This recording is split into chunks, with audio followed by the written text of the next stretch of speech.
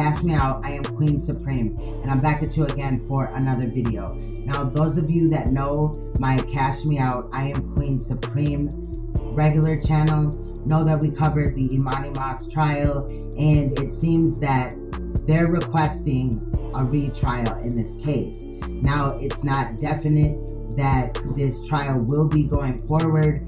However, it's crazy the allegations. So they're alleging that she did not speak during her trial as if that should mean anything. She had ample rights and was able to speak during the trial, questioned nobody, sat there and wrote notes, and looked like she didn't take the whole thing serious.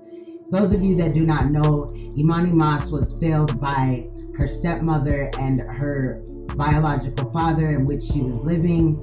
And the abuse was severe and she was starved as well as um, abused severely and she paid with her life. And in the end they covered up her death. The father knew about it. He had made attempts to conceal of the body. Um, they did do a lot in this case. If you have not looked into this case i definitely think that you should look into it.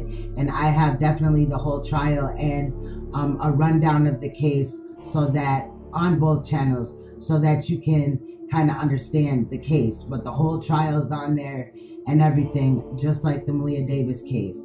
Now, these requests are ridiculous to me because during the trial, she had plenty of time to talk. She did not want to, she did not want to question anybody. She did not want to testify. She didn't want to do anything. The side attorneys, because she chose to represent herself, the side attorneys had to sit back and watch this, as well as the rest of the public. And so I'm not going for the whole, you know, she didn't get a chance and all this and that, but let's take a look at the story now. Let's go. Now, this is from 11 Alive. Shout out to them because, um, as I said, I covered the whole trial through them and um, they covered it very good. So, shout out to them. But let's get back into it. In today's speed feed, a new trial requested in the Tiffany Moss case. She is the Gwinnett County stepmother convicted of starving her 10 year old daughter, Emani, to death. Lawyers say Moss was not competent to act as her own lawyer in her death penalty trial last month. Moss barely said a word, never questioned any of the witnesses. She was convicted on all six counts, including murder, and sentenced to death. Moss's husband, Eman, was convicted of covering up the crime against his daughter. He's serving life without parole.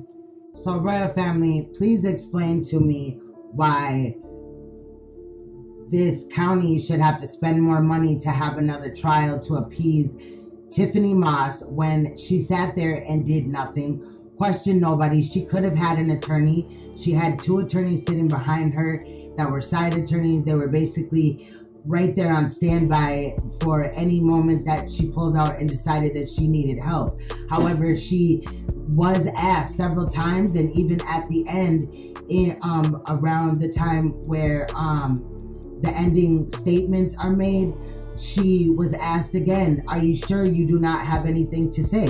And she said, Nothing. So I'm not buying this whole, you know, she wasn't able, like, it was already well aware that she was not able. You see what I'm saying? And I already saw this coming. Those of you, again, check into this story. Um, I do have this story on my channels. Um, both channels have just the rundown of the story and then the Cash Me Out I Am Queen Supreme 369 page, or the cat the regular Cash Me Out page has the whole trial. You see what I'm saying? So make sure you go there. I'm sorry, it's at the Cash Me Out I Am Queen Supreme page.